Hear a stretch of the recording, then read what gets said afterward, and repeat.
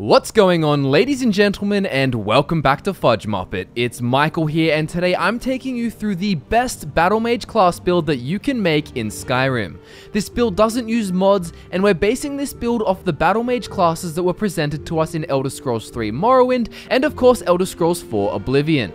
A battle mage is traditionally a little more of a mage than a warrior, although many aim to be a perfect balance of the two, with some even favouring combat over the arcane arts. We've made the playstyle of this build an even mix between magic and melee, although in terms of perk investment, it's definitely heavier on the blue side. The battle mage wears his or her opponent down using magicka and will often finish them off with melee. Battle mages are perfect for players who don't like long drawn out fights as they quickly dispatch their targets using a mix of destruction, melee, and alchemy. This character is perfect for anyone who wants to get back into Skyrim and have a playthrough allowing them to experience all the features that they once thoroughly enjoyed.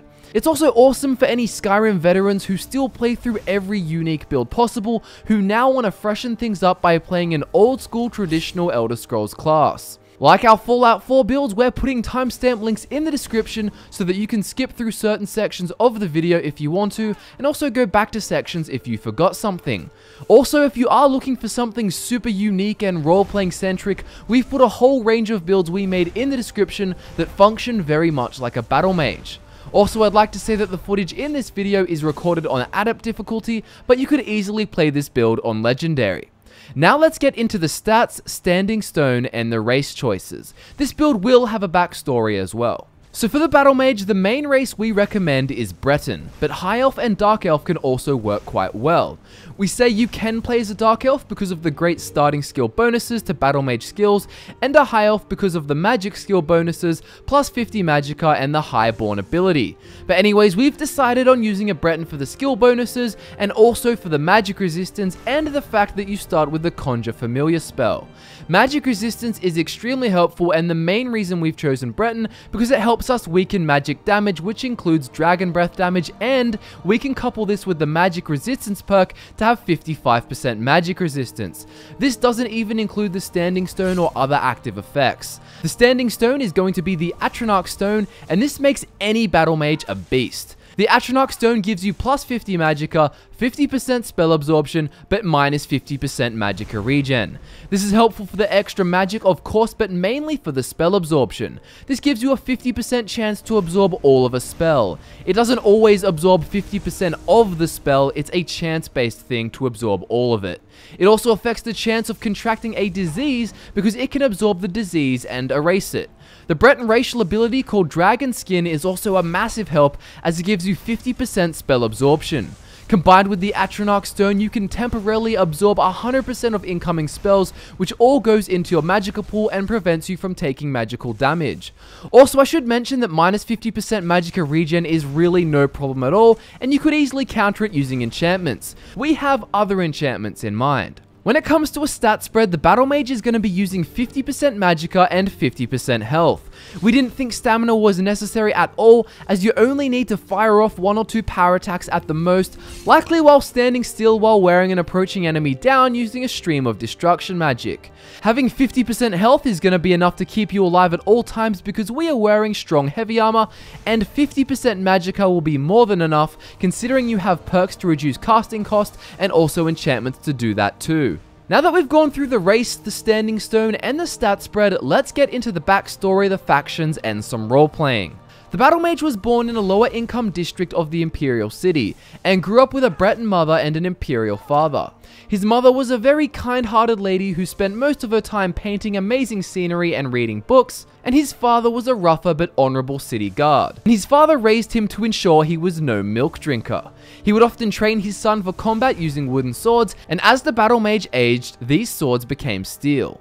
The battle mage was groomed his entire life to be a fighter, so he could maybe become a mercenary or a bounty hunter. Keep in mind that his father was simply a guardsman and not a super skillful blades master, so the battle mage wasn't some prodigy of any sorts. The reason his father encouraged him to be something like a mercenary was because being a guard did not pay well.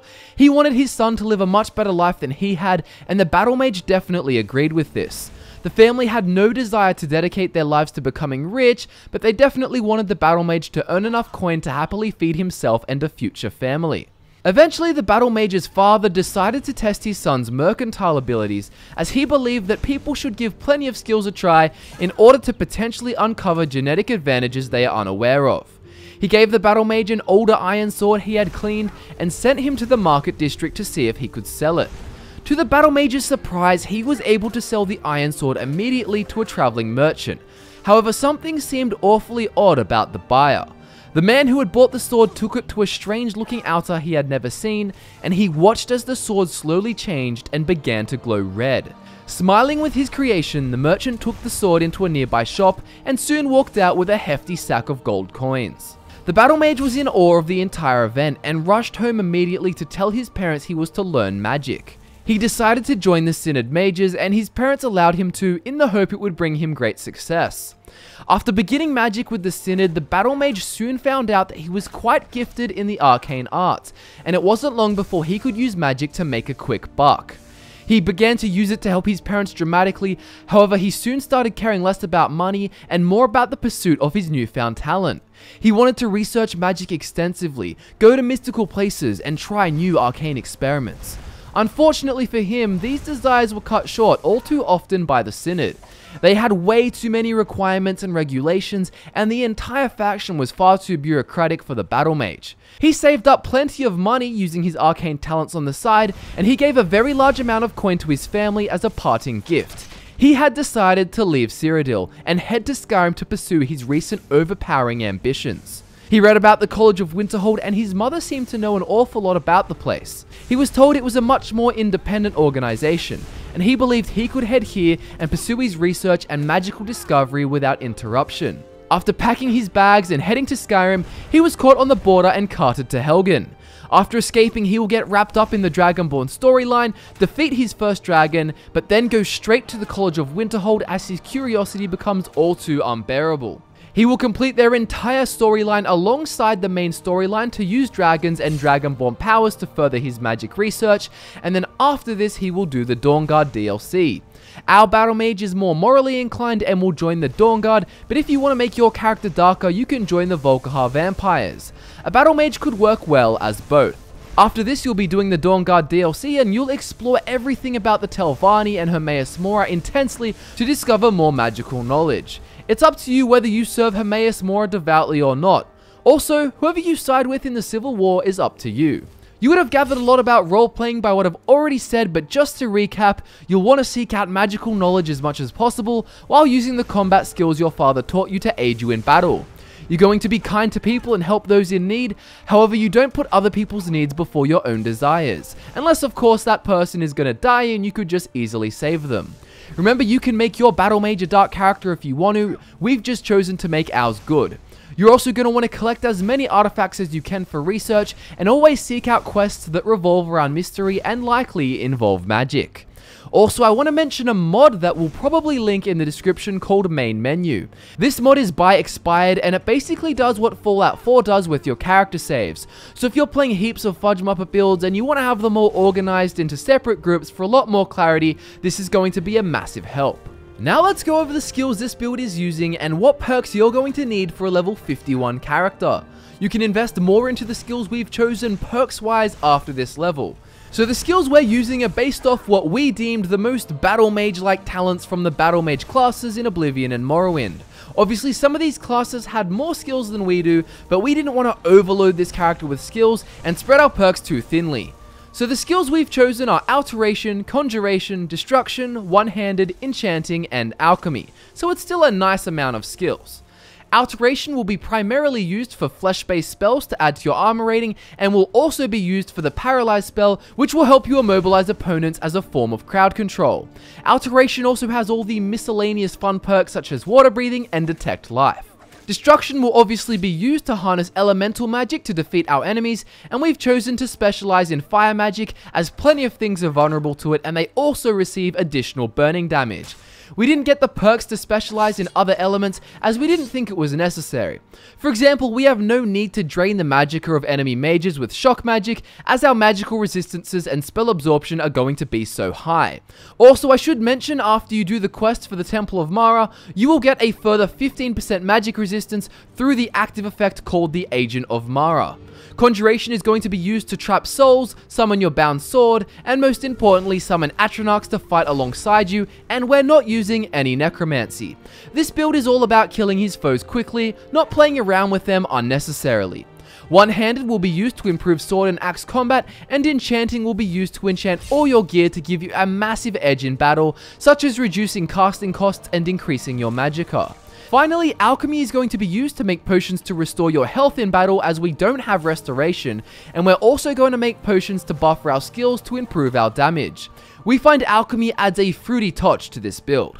Anyways, now let's get into the perks. We can't tell you what to get at what level like we do with our Fallout 4 build simply due to Skyrim's level by doing system, but we'll tell you what to work towards. Obviously, don't overemphasize one thing over another, but I will say it's a great idea to get melee damage and spell mastery perks early on. So in one-handed, you're going to want all ranks of Armsman for high damage, the Fighting Stance perk, which makes power attacks cost 20% less stamina, and Savage Strike, which means standing power attacks do 25% bonus damage and have a chance to behead your opponents. We wanted a really solid bare bones investment in one-handed, as the Battle Mage isn't too focused on specializing in weapon types or learning how to sprint charge effectively. He's more interested in magic.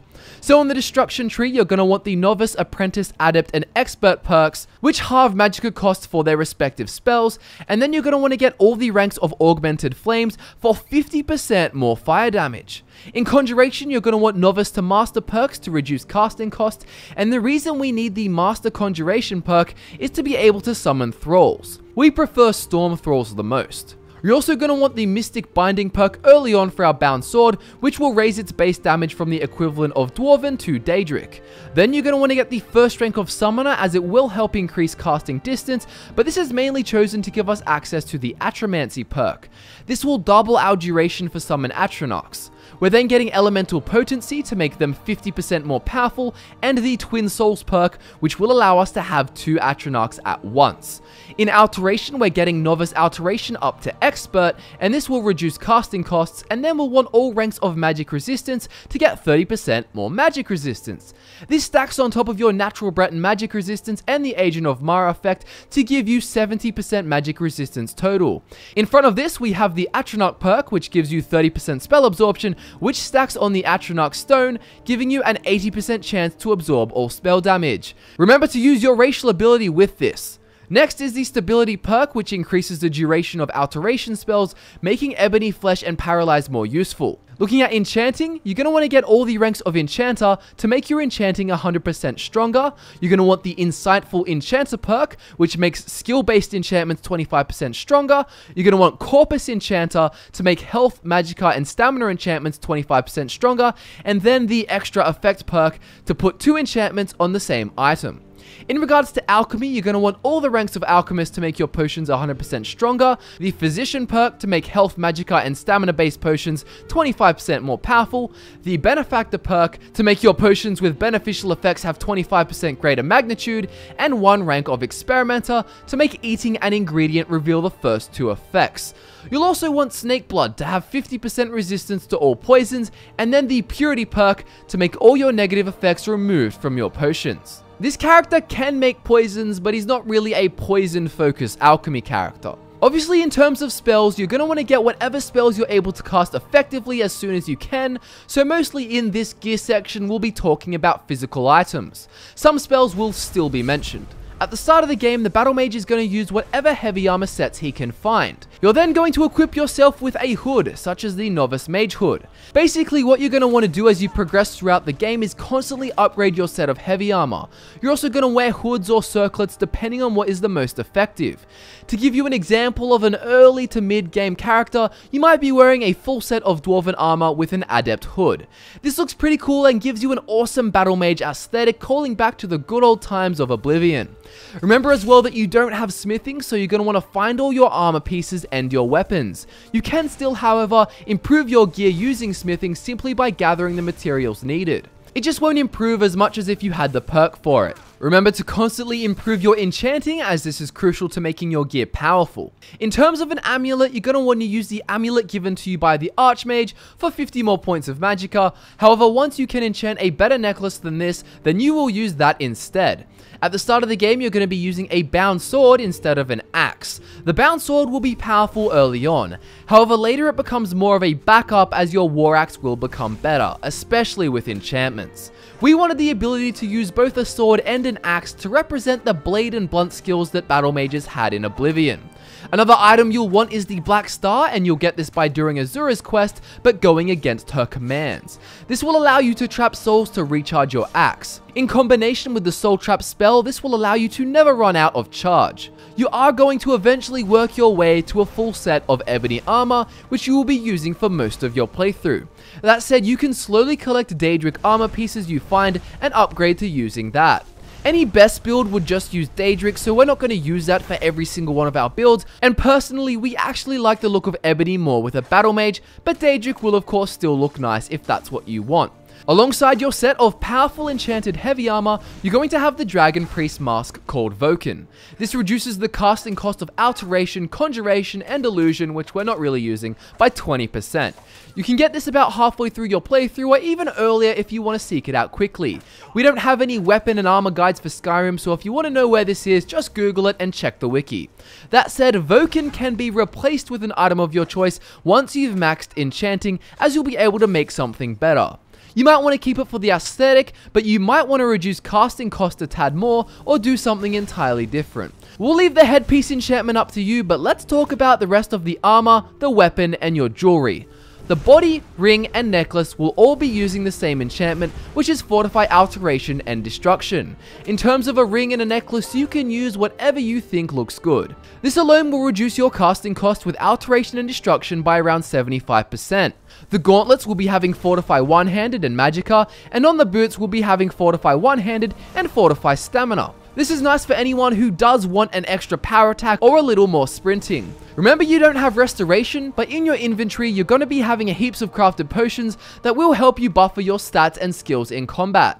On your War Axe, you're going to want Absorb Health and Absorb Magicka enchantments to constantly fuel your stats, and this is another thing that works alongside Alchemy to offset the fact that you don't have Restoration. This build simply doesn't need it.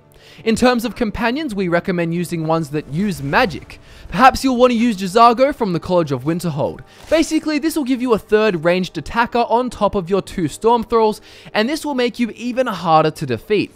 That said, you can do whatever you want, so if you feel like you want a companion who turns into a Skull Crusher on demand, then go ahead. And that wraps up our first ever big Skyrim build, the Battle Mage. If you enjoyed this video, remember to subscribe for more and to like the video and share it around too, we really do appreciate it.